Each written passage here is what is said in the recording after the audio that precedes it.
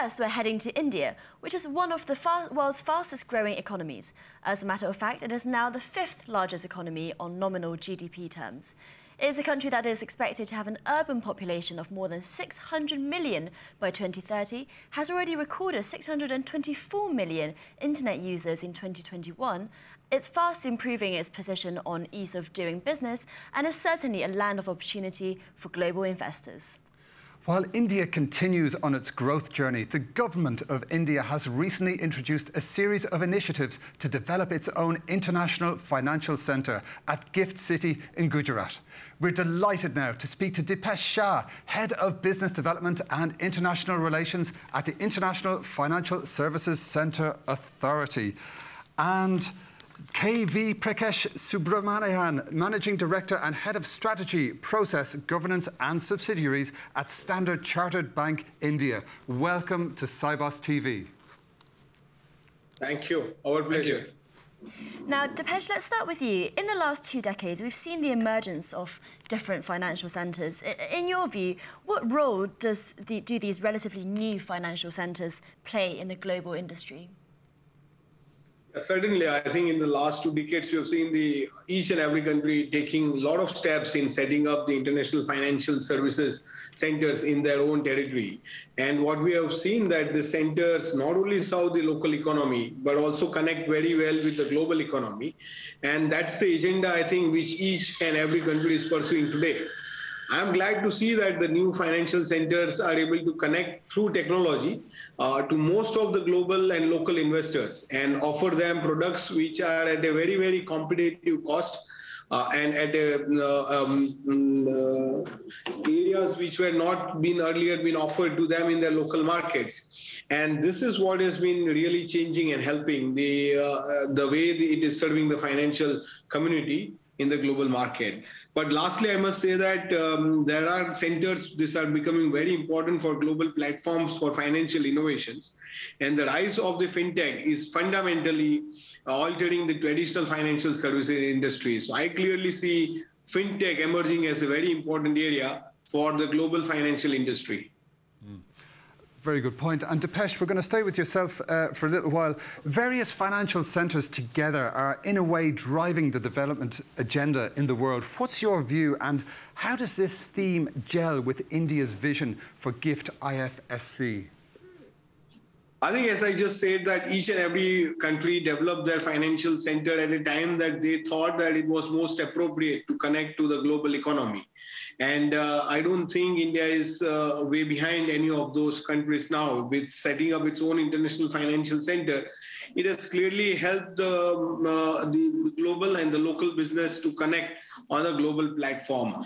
I believe the IFSC steps which has been taken by the government of India in the International Financial Services Center helps to become a very important platform in the global financial um, economy. And what we are seeing clearly uh, from a perspective of seeing the International Financial Services Center in India is to present an opportunity in all the financial segments, whether it is banking, insurance, cap capital market, uh, various other segments, to connect these financial centers with the global players. I think most of the important factor that we see, and and um, you just said in your opening comments that India is fast emerging as the fifth largest economy, and it's very naturally for it to connect with the global market with the way the global institutional investors want it to. Secondly, I think from an India uh, to meet its own goals in the SDG, SDG and the Paris Climate Agreement, we would require a huge amount of foreign capital.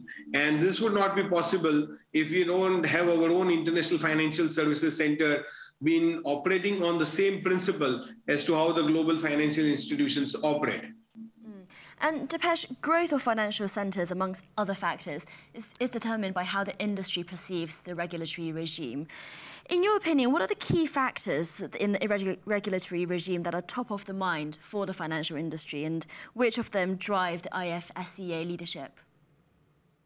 I think there are always three very key factors for any financial center to be successful. One is the infrastructure that it provides to the global uh, uh, players to come in.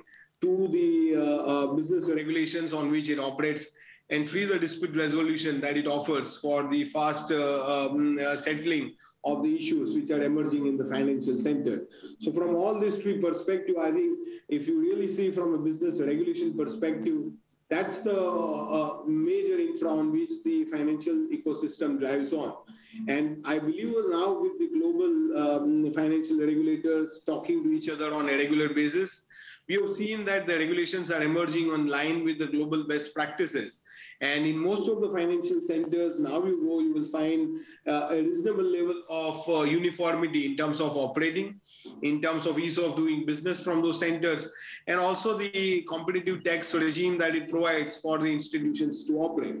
Uh, the IFSC at the GIFT City is no exception. It provides an extraordinary infrastructure for the businesses to set up there. Some of the finest infrastructure which has been developed for the first time is already available at the International Financial Services Center in GIFT City, India. Two, the business regulations have been benchmarked with the global best practices. And uh, the government of India very correctly set up the uh, unified regulator in the form of International Financial Services Center Authority, whereby the institutions are not required to go to the different agencies for the approvals. So under one umbrella, you have a unified regulator providing you the approvals for all the financial services to operate from. And third, in terms of the dispute resolution, it also provides a reasonable platform, uh, even uh, a neutral venues and the regulations of the Singapore International Arbitration are being offered from the International Financial Services Center in the IFSC zone. So I believe that the IFSC in India at GIFT City is comparable to most of the global financial center in terms of its uh, regulation, in terms of its infrastructure, and in terms of the uh, tax regime that it provides. But to top on that, it provides a very, very competitive cost advantage to operate from. Fascinating. Thank you very much. And now we're going to move over to yourself, Prakash. Now, Standard Chartered is a global bank with a presence in GIFT IFSC as well. How does GIFT IFSC compare with other jurisdictions? What problems do you think the GIFT IFSC is solving for the financial industry? Uh, hi. Yes, absolutely right. Standard Chartered was the first foreign bank to commence operations uh, last year. And this actually gave us an opportunity to expand our business across uh, trade financing, lending, uh, financial markets, and also other structured products. If you really look at the other international financial centers where Standard Chartered operates, there are a few key characteristics which stand out. One is the location. Uh, they have a strategic location uh, and also established and in established and emerging economies. Uh, each of these locations have reputed exchanges, a good concentration of domestic and international banks, uh, trading as well as insurance companies. Uh, they have absolutely world-class infrastructure, uh, communication and commercial systems, and more importantly, is having a transparent and sound and legal regulatory environment, which is highly critical when Standard Chartered was looking at all of this, we believe that Gift City is already in a position to offer all of these products and more importantly, provide them on an internationally competitive reg regime as far as financial infrastructure is concerned. The, the best part of the whole thing was, as Dipesh mentioned, uh, a unified regulator, which was a combination of all the four regulators in India.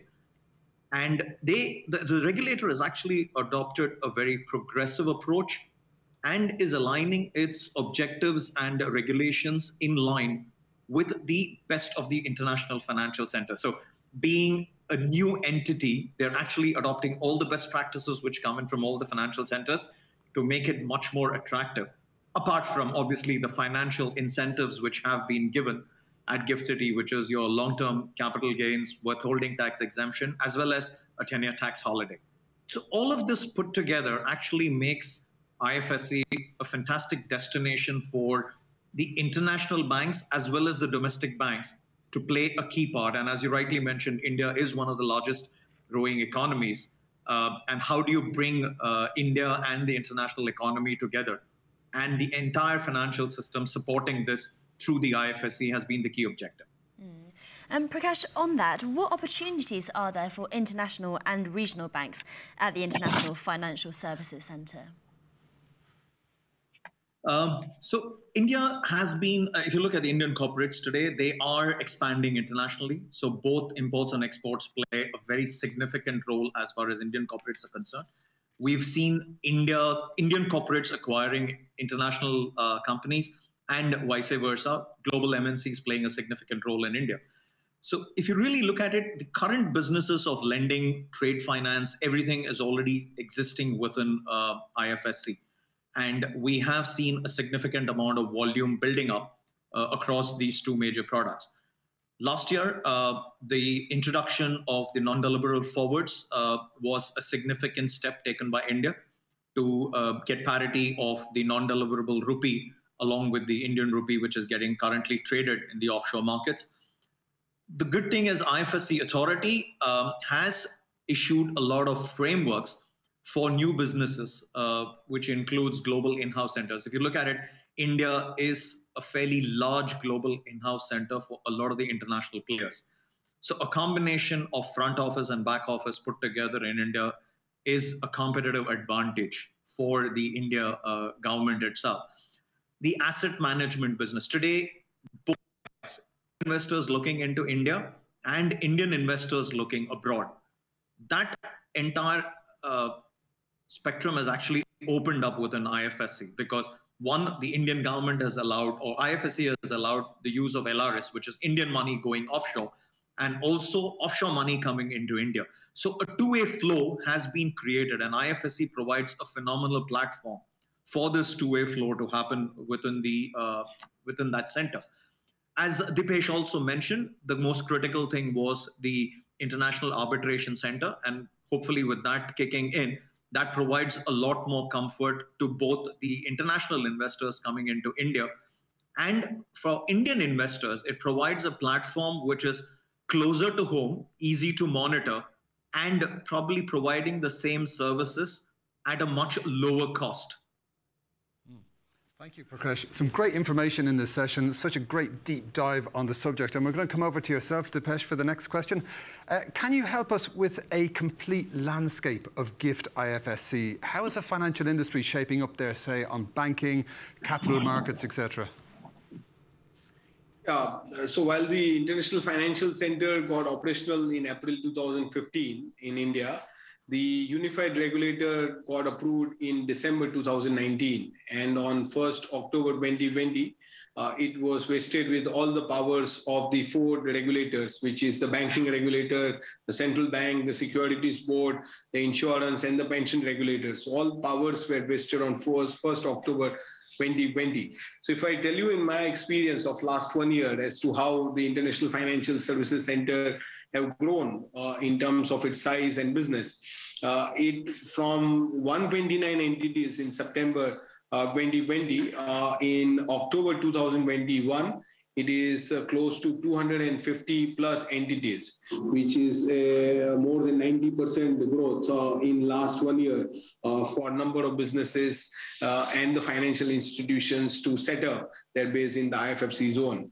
Uh, we have seen, I think, one of the biggest segment uh, emerging clearly a winner for the IFSC has been the banking segment, uh, with 20 plus banks, uh, including global banks like HSBC, Standard Chartered, Barclays, Citibank, JP Morgan, Deutsche Bank. They all setting up their base in the International Financial Services Center and all leading international Indian Indian uh, banks, both public and private sectors in all part of the ecosystem.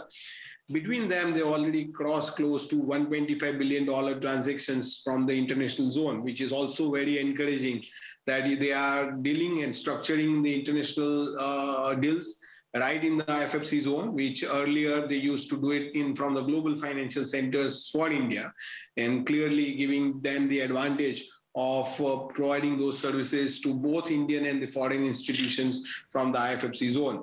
We are clearly seeing the capital market also emerging as a very important segment in the IFSC zone with two leading international exchanges operating and providing uh, 22 hours um, a day trading uh, for the global investors to participate is clearly a market which is growing very rapidly. So from 3 billion uh, average daily volume, we have crossed now 15 billion dollar in last one year from the capital market side.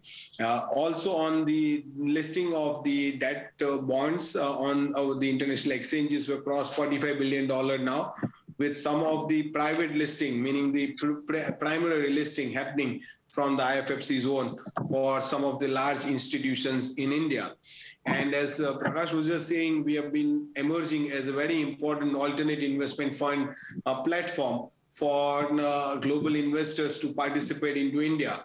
And in a way, this is now a, an example for people uh, to do a two-way transactions. One from India to overseas, they can use the IFSC platform, and from in overseas to India, they can use the International Financial Services platform.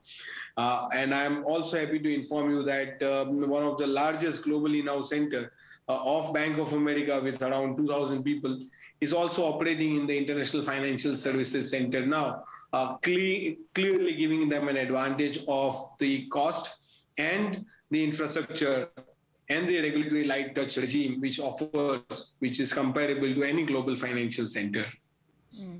And Dipesh, on those global investors, from an opportunity perspective, why should they develop a strategy for GIFT IFSC, and how is GIFT uh, establishing its niche amongst other international financial centres?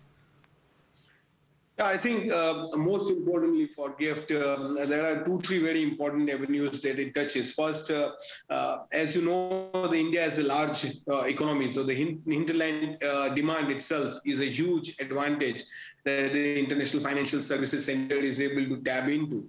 Uh, and two, as we have seen, a lot of financial centers globally uh, may not have large in terms of their own hinterland uh, demand. And that's where the IFSC at GIFT City gets a uh, clear advantage of serving the large hinterland economy. Two, I think the um, strong Indian diaspora globally um, can be well connected through the International Financial Center here. Uh, so we are talking of 30 million plus strong diaspora uh, Indian diaspora in the global uh, uh, in in the global countries um, wanted to connect to India through the platform. And third, I think very importantly, it provides an opportunity for uh, for India to its first time uh, provide a fully operational smart city with a best-in-class infrastructure, and thereby giving and uh, clear advantage of global experience with the regulatory regime uh, very, very conducive to undertake the international financial services. So with this, I think we believe that the um, platform at the IFSC becomes very unique for both Indian and the global institutions to explore for their business in the international financial services are concerned. Very interesting. Thank you. And uh, if I could, Dipesh, I'm going to stay with you, but ask you to answer this next question quite briefly because we're coming up to time. Can you throw a bit of light on the progress of the banking ecosystem in GIFT IFSC and why the financial industry will make the move into GIFT IFSC? I think this is very important question. What you are asking, as I said in my earlier um, uh, remarks, that the banking is clearly a, a, one of the major success story that on which we uh, have a lot of pride for. Uh, we have 20 plus uh, mm, uh, top class banks operating in the IFSC zone, and they already crossed 120 billion dollar transactions. So, w- what is the success story there? The success story is they are able to very efficiently serve the hinterland demand from the for the banking from the IFSC zone, which is a trade finance, the external commercial borrowing, or related products being made available at your doorstep. And two, I think the um, the competitive tax regime which the International Financial Services Center offers uh, is comparable uh, and thereby adding to the that advantage of operating from both a cost competitive and a tax competitive location at the IFSC in GIFT City. And that's all we have time for. Dipesh Shah and Prakash Subramanian, thank you so much for joining us here on Sibos TV.